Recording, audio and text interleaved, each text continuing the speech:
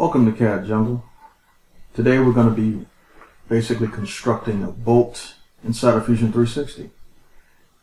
And again, there's no real correct way or wrong way to do it. The way I like to describe it is it's either simple or it's complicated. It all depends on you know the techniques you want to use. But anyway, the technique I'm going to use is going to be fairly simple. And it could take you less than three minutes to actually create this bolt. Without further ado, let's step right in. All right, we're going to create a new project first of all. We're going to start a sketch and we're going to put it on the top plane. All right. So efficiency wise, we could do this by making three sketches, but I'm going to basically condense it down to two. So this is how I'm going to do it. So first of all, we're going to start out with a circle, center circle.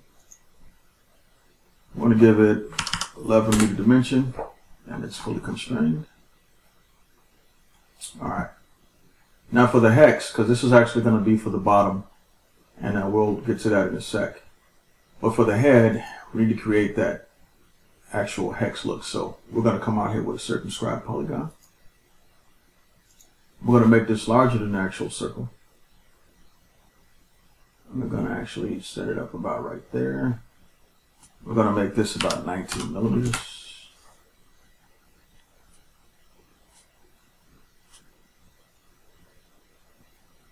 Actually, what we really want to do is, because it's going to be a little bit too large, what we really want to do is actually dimension two parallel sides to get those to be 19 millimeters. So this is what we're going to do. Actually, I want to take off that dimension first. We're going to make this 19 millimeters.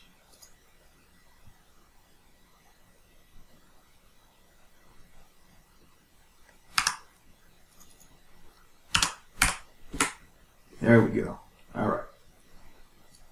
Always keep in mind if you make a mistake, you can always go back and correct it.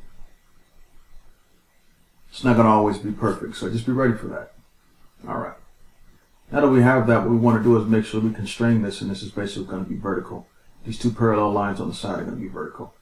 So we're going to go to constraints here, horizontal vertical. We're going to click one side, this side, and now it's fully constrained. All right, so what do we want to do next? What we want to do is we want to extrude both of these profiles, okay? I'm going to go ahead and give it a 7.1 millimeter thickness, all right? We can either finish the sketch, or we can just hit the E key, which will basically take us, take us into the extrude function, all right? So for the sake of argument, let's go ahead and hit the E key which takes us out of our sketch. And what we'll do is we select these two profiles and we'll extrude. We'll make this 7.1 millimeters. Okay. Now what we want to do is also turn that sketch back on.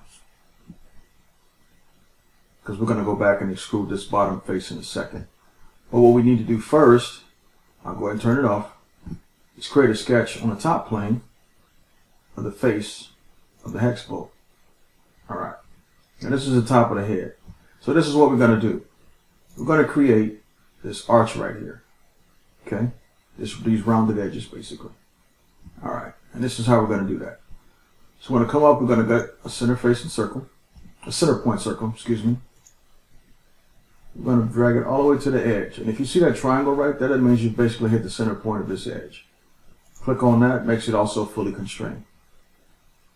Okay? Now what we want to do, we're going to go ahead and finish sketch. Now this circle right here, we're going to also extrude it. So we'll click on the uh, profile, hit the E key, we're going to extrude it. We're going to bring it down.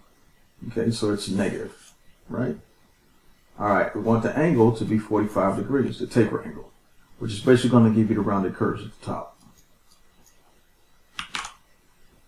Okay, now we want the distance to go to all, okay? All right. We don't want it to cut, we want it to intersect and it brings it down. And now you got your arch edges. I'm going to hit OK.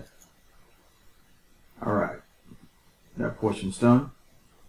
Now what we want to do now is click on the first sketch and make it visible, like so. Click on this profile and we're going to extrude it. I'm going to give it a distance of about negative 40 millimeters.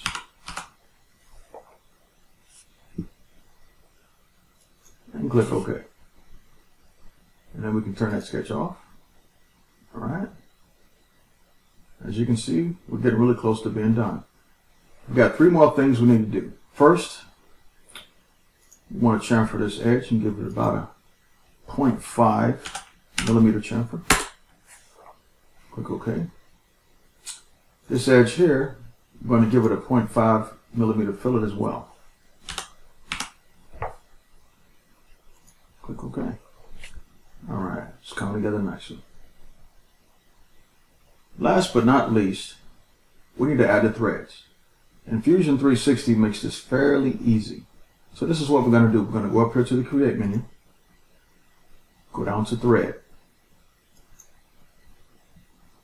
And now we need to click on the faces, which is going to be pretty easy because it's just this cylinder. Click on the cylinder. Now, you have the option either make it model or just basically have an image of threads. We want to model it. Looks a lot better that way. If your computer can't handle it, then you probably don't want to do this, but for the most part, that's what we're going to do here. Once you click model, it gives you that impression, hey look, this is exactly modeled the way we want it to be. No kidding threads. Alright, now, before we go any further, let's take a look at this for a second. We can either make this full length, the full length of the boat, or we can shorten it.